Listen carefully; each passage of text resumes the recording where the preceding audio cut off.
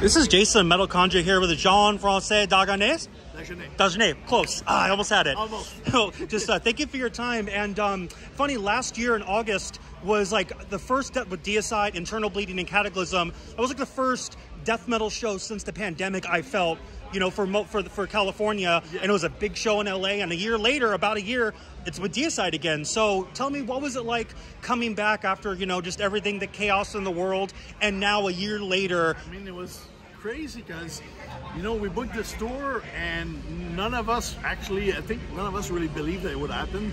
We were just like, I, like fingers crossed, knocking on wood, like praying to the gods, like, please. Yeah. we were hoping that something happens and then uh, Maurizio called me. He's like, okay, it's happening. We're, we're doing it. We're like, fuck yeah. I'm so happy to get out of my house because, I mean, the pandemic was scary at first for, for us and for me, but then I started all, having all these studio gigs and I, I just worked my ass off the whole time. And most bands, instead of touring, decided to work on music and work on some records and, and I, I, I did so many things within that that time so I, I didn't really it went kind of fast for me uh, more than some others but uh, I, I was so happy to go back out on the road and when that happened and then to see so many people supporting the tour and buying merch and like going crazy at the shows and it, all, it, it gave us a, a huge drive to, to keep going. And uh, we, we we made like we got really good friends with the Deicide guys and they were like man let's do another tour because it was so much fun so so we plotted this one and then now that's happening and that's doing well and very happy to be back with those guys I'm happy to hear it. And um, a special occasion, uh, Deicide's playing all of the their 1992 album, The Le- Legion. Uh, other way, you guys are performing from Serenity in Fire from 2004. Now the dates don't, it's like 30 years from that. yeah. So what um, came to do this album live? What was the? Uh, how did this come about? Well, we were talking about doing a tour that would be different because we already toured together. So we're like, let's do something special.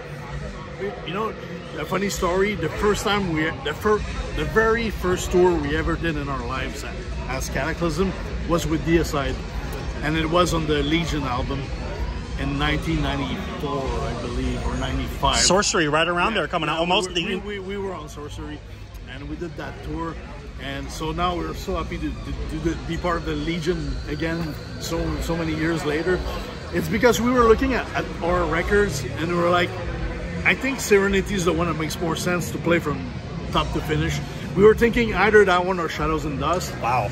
And uh, we voted as a band like uh, which one because I, I personally I love both so I, I, I, didn't really mind playing it Yeah. either or and we thought Sorcery is a bit too old to, to It's fast, have- though. yeah it's fast it's cool songs uh, but we don't have Sylvain as a singer so I, it defeats the purpose I, think if, if we were to do that we would have to somehow include him and, and like I, I- like I would do it like that, but I think I think for us the obvious choice was Shadows and Dust or, or Serenity because these were the albums that put us on the map. Right. I think after the early early days, and uh, yeah, we voted for Serenity. That's what happened. And, uh, I, I'm happy because it, it, it's very fluid and uh, all songs are like back to back and there's grooves, there's fast stuff, there's like the melodies there, everything's there. So.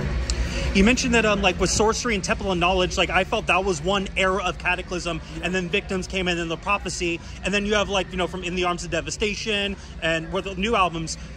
From Epic, Shadows, and Serenity, I felt those three albums were its very own era. and yeah. personally, as a fan, I think for me, that's your, I think that's the your, the best, most represented era. Serenity in Fire for me being one of the strongest material. There's like this rawness that like with like kind of with um, Krisiun's Ageless Venomous, where the production is like it's clean, but it's still gritty. You can still hear it with some of the songs, like as I slither with the down picking intro, and then just you know the ambassador. Like, Talk, talk to me about the what was special about making that album with your melodic groove style. Well, we, you know, one thing that was kind of cool about those albums is that the recording technology was kind of starting to be developing with, with Pro Tools and the digital stuff, but we were still kind of tracking to tape. It was kind of in between, like uh, the the, the, the like what it is today and, and what it was back in the early days. And I think that hybrid of sound made it really special for those years, like the equipment that was available in the studios and all that, and also the who we were as a band at, at the, the, age we were then. It's kind of like it's it's um, it's kind of like a piece of our musical journey, and uh, I'm very proud of what we accomplished at, at, at that moment in time. And I think uh, all these factors, like the the way we got along together as a band, and we were finding ourselves. Like, like I said, the sound and the technology that was around the early 2000s made all of these albums special. And it's kind of like sometimes when you keep going, you don't really realize uh, like like like it's a journey. So you kind of keep going with the flow, and you try, you keep trying new things, and, and, and trying to push yourself as far as you can as you can go musically, and then once in a while you look back and like, oh wow, these these were actually really cool albums. and um, we're so spoiled in our music with like drummers and like you know the the hyperblast or northern hyperblast you know with you and suffocation and the napalm death early you know but you know making extreme drumming you know very prominent that we can hear in almost every band yeah. there's been so many drummers in in, in your um for the for Kataklysm. And then it was Martin um, Maurais uh, Mar- yeah, um, yeah. was the drummer for, and with hearing like Blood on the Swans" and hearing the chorus and "For All Our Sins," the the Hyperblast felt more like either recognizable. It just felt different than even the other times because the downbeat for you know for like uh, Stigmata was just very da da da da like yeah, yeah. it was fast, but the this time it just felt it was taken on another level. What was the um, the drumming like making either drum beats and uh, drum ideas with him together? What was that like at that time period? Because like I said, those intros and parts, that's the like the best drumming I can ever hear remember from the band. Yeah, I mean Martin was like one of his strengths. He wasn't he was not really a technical drummer, but he, he was like what I call a powerful drummer.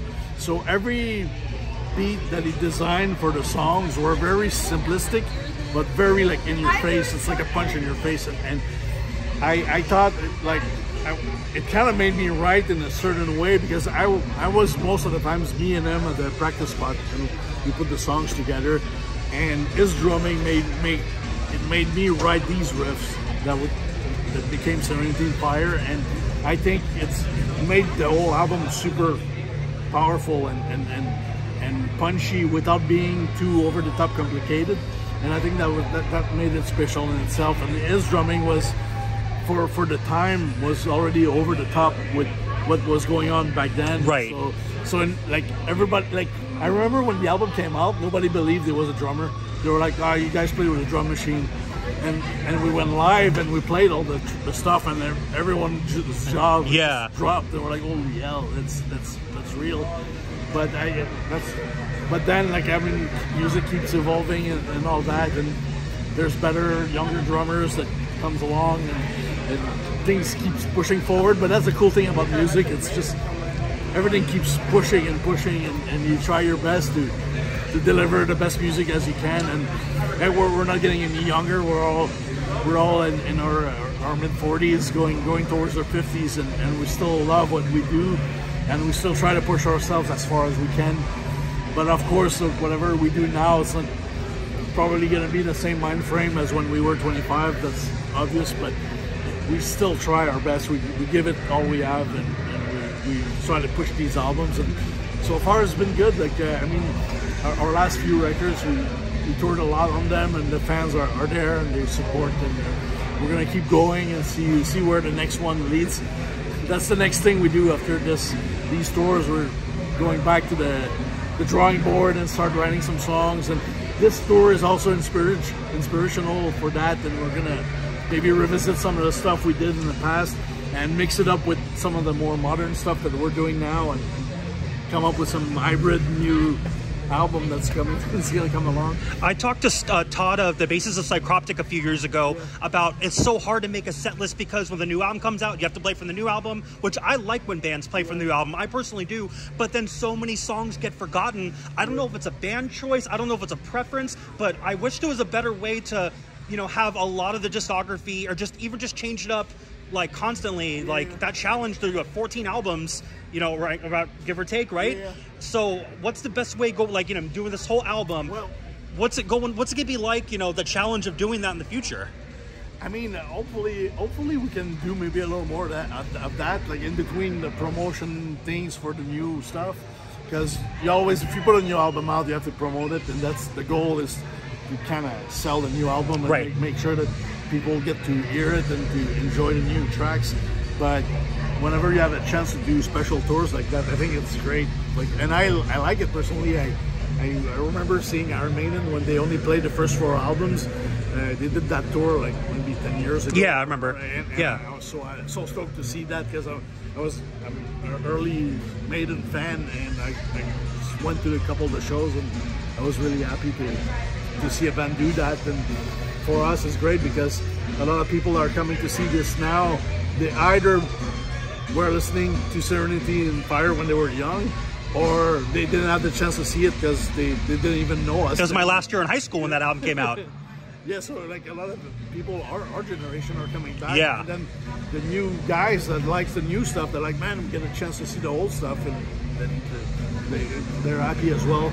So it's a it's a win-win, I think. I'd say too uh, one uh, thing about uh, Serenity in Fire for all our sins is probably I think the best Kataklysm song. Not because not only because it changes so much at the end. There's just very you know done that melody at the end, but Peter's vocals. I mean, yeah. just the best stream high vocals in I think ever. Tell me, um, how did that come to be for him to like do guest vocals? How was that? What was that like? Just hearing him and just him being part of that process of the song. Well, in those years, we toured a lot with Hypocrisy and then Cannibal Corpse and a lot of bands that we ended up doing like so many tours together, and uh, we, we became friends. And uh, we were working on the Serenity Fire record in, in Montreal, and they were touring, supporting Dimmu Borgir, I believe, in the U.S. With those with Children of Bodom and Nevermore, yeah. yeah. And um, we, we I, I called Peter and I says, if you want to do a guest vocal thing on our record, I'll, I'll come pick you up at the show. And uh, if you want to pass by the studio and, and check it out, I was like, ah, hell yeah, like, I'll, I'll do it for sure. And uh, came by, we, we smoked some weed, and then we did this thing, and we're all like, yes. How long did it take? How long was the whole process? An hour. maybe. Wow, that's pretty cool. Because we knew, we knew like the chorus, we knew how we wanted to hear it, and then we told Peter because we love what he does. This, this big like, It's the best. and uh, we, we we asked him, can you do one of those on the on, on the part? It was like, fuck yeah. He, he- they just played um, earlier this year. Hypocrisy. His vocals exactly the same. Yeah. It's he's in. He's not human, and in the most compliment. You know. Yeah, yeah, yeah. Uh, last question. Thank you for your time. Uh, about I think it was maybe a year ago. The band said that that there would be not a hiatus, but they, the touring wouldn't be. There was like be some kind of break. Is that still going to be kind of going forward, or is with everything go? know- is things changing? it's a funny thing because you know we're all getting older, we all have families, and we're like, man, we, we still love doing this. We don't want to give it up, but at the same time, like it gets harder to leave like for a certain amount of time, and uh, that's the reason why we're like, okay, we want to take things a little bit- bit more slower and, and take it easy. But we've been saying this, and we keep getting those huge offers. Where we're like like those type of offers that you can't say no Right. and they keep coming because because maybe we start saying that we're, we want don't want to tour as much, so people are like, oh, no, let's let's book the band. I, I don't know exactly why all of this is happening. Better late than never, right? Well, so it seems like we're getting all this hype that's kind of pushing us forward, and we're, we keep getting those those offered are really hard to refuse with like high level touring with high level bands with high level uh, budgets and all that, and we're like, and uh, then we're saying what we said is like every offer, let's let's sit down, look at it. Right. Everybody's in. Let's go for it. If we want to take like a few months off, take a few months off, then we see what, what what's after, and we'll keep going. Because that could be good for your families later on. With Yeah. those big things, you're keeping them in mind. Yeah. Let them know this opportunity will come faster to someday. Exactly. Right. The thing sometimes, like I know also too well in this business, if you say no to something, it doesn't doesn't necessarily come back later. Right. And we, we did some of these things that we should have probably said yes to in the past, and we didn't. And maybe the band would be at a different place if we, if we did, but it's just, it's just life. But I think we're getting wiser as we age, so we're like, okay, get, get these up on the table, and we have like this album that we have, we're almost ready to record, and we're like, eh, okay, let's give it another year and, and, push all of that and see where it leads, and then we'll we'll take it as it as it comes. Like if the offer makes sense and everybody wants to do it, we'll say yes. Somebody doesn't want to because this and that, then we'll take a break and stay home a few more months. And, okay. Hopefully, I think I think it's the best way to approach things at, at this point. It, I can tell from your energy that it sounds like you guys are really like really considering all these options. So I'm really happy to hear from you guys. And better late than never for one of the OG bands, especially from Canada, to finally get their due.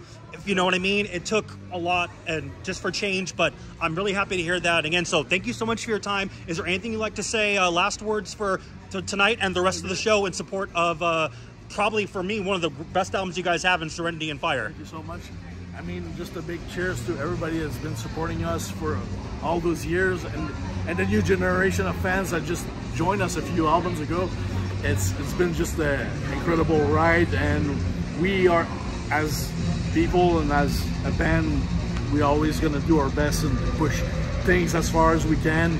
And if sometimes we decide to take a break, please understand that's just how it is. And if not, we're, we're going to give 200% in whatever we choose to do uh, moving forward. So that's that's the, the that's how we're going to approach things. And uh, by no means the band's going to break up or do anything like that. We're I think we're in it for another good 10, 15 more years, wow. but we'll take it as it comes. Hyperblasting will never go away. Cool. Thank you so much for your time.